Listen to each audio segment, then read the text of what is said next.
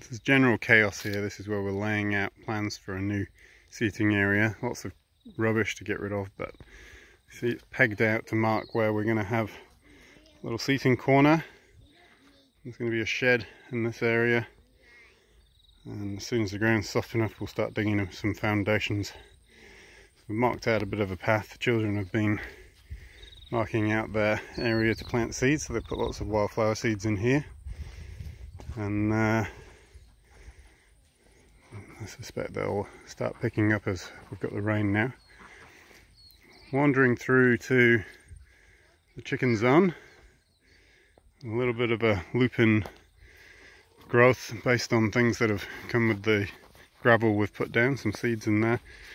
Uh, the roof needs a little bit of a tidy up, but otherwise, this is an upgraded version of um, something we were given by um, Lucy and Rodney, which was very kind of them. Used to be a playhouse. And so we upcycled it, put some some paint on it, and made it into a chicken house. A few little wee doors for them here.